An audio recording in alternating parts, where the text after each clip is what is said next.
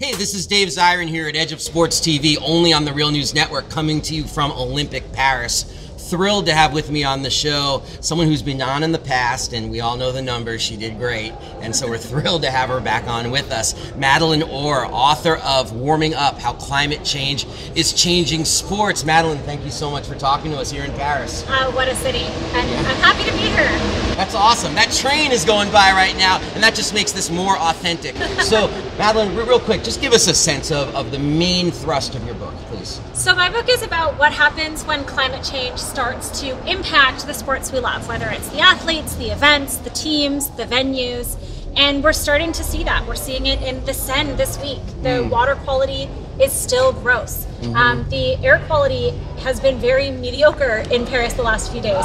The heat is noticeable. We're starting to get some hot days. Today was pretty hot. It's only going to get hotter from here. So we're seeing those impacts happen, and we're seeing it not just in summer sports, but winter sports as well, and pro sports around the world. Wow. So based on everything we're seeing in Paris, the big question, like, can the Olympics be environmentally sustainable? No. So Paris is a spectacle, and if you walk around the city right now, you might notice that there are streets blocked off. There are entire sections where you can't approach. We're on a street right now that is hmm. blocked off to cars, and there is gendarmerie, the police, standing at the edge, making sure you can't get in here. Um, so massive disruption, and, and that's because they're bringing in 15 million tourists, and on top of 15,000 athletes and all of the staff and volunteers. So you can imagine there's no version of bringing that many people to one place mm. for what's functionally a big party that's going to be sustainable. That's an oxymoron. And a sustainable Olympics is an oxymoron. Mm. And the model is completely um, untenable. They, they're not going to be able to continue to do it for much longer. Well, our show is based uh, in the United States. Yeah. And of course, 2028, the Olympics go to Los Angeles. Yeah. Uh, what message do you have via, via sustainability for people in LA? If you live in LA, please get public transit. Get on them for public transit. It's the best thing you can do, not just for your city, for yourselves, for your well being, for your health, for your community, but also for everyone who's going to inevitably descend on Los Angeles. Second thing you want to do is pressure them to have tickets for locals. Make sure they sell you tickets first. Um, and when they do that, we can lower the number of international tourists that descend, and that reduces that carbon footprint. So that would be number one and two. Keep holding them to their promises. They said they'd have a sustainable games it's not possible to do that, but you should hold them to every promise they've made in terms of the little stuff the bus lanes, the bike lanes, the pedestrian areas, all this stuff. Make them do it. Wow. Now, I want my audience to know that you're not just somebody who writes books, not just somebody who is a university professor, but you're actually connected with a lot of these athletes who are dealing with political issues and also with the issues of how they manage uh, environmental catastrophe and world class sport. I, I know I'm not going to ask you to name names of the athletes who you've been speaking with, but can you speak a little bit about that work?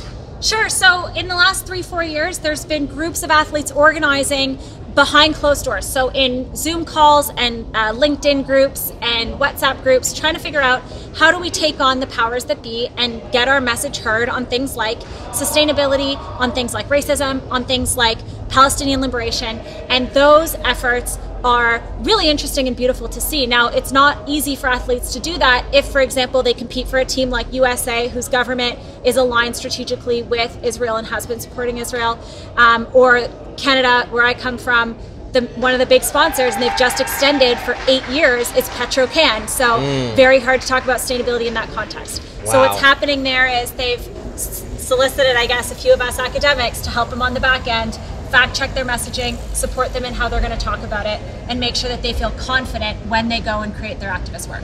Wow. I mean, do you see a day in the near future where an Olympics are called and they quite literally cannot happen because of the climate?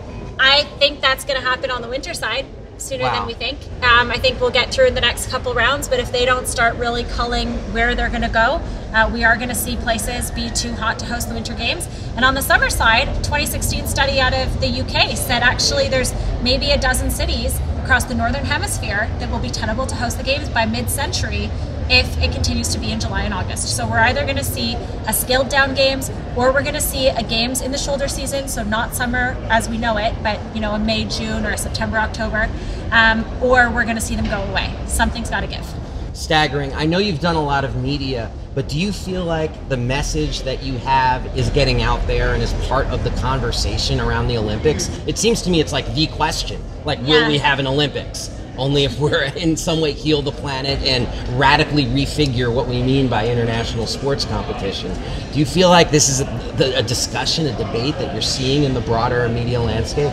You know, I think every Olympics has the discussion, right? There's a discussion every time. In Rio, it was um, inequality, and then it was Zika virus. In Tokyo, it was COVID. And here, I think we're finally having a conversation about sustainability. Is it as robust a conversation as I would hope we're having in public? No. It's still a lot of greenwashing, but it's starting to be on the tip of people's tongues. We're starting to talk about what's this going to look like in the context of a world on fire. And it's important that we have that conversation, that we ask those questions, that we keep pushing the organizers. And then just the last question is about greenwashing. I'm Yeah. hoping you can explain what that means Sure. in the context of the sustainability message that comes from the International Olympic Committee. Yeah, so there's two versions of green uh, greenwashing at the Olympic level that are really nefarious. The first one is they will tell you that these are sustainable Olympic Games, and y'all, that's not possible. It doesn't exist. Um, so they're labeling things as sustainable because really there's nobody to tell them not to, so they're just using it. The other thing they do is they use a lesser of two evils argument, and this is also really pretty nasty, where they'll say, "Oh, well, you know, these other Olympics in the past had a carbon footprint of X." we're going to have that. Well, that doesn't mean your games are suddenly sustainable because it's slightly better than that other thing. Like the bar for these things, frankly, is on the floor. And so mm. any action is good and we want to see more of it, but it you can't jump from awful to slightly less awful and all of a sudden call it good. Mm. Her name is Madeleine Orr. She's the author of Warming Up How Climate Change is Changing Sports. If you care about the future of sports, this is a book you have to read. Madeleine Orr, thank you so much for joining us here on Edge of Sports. Thanks for having me.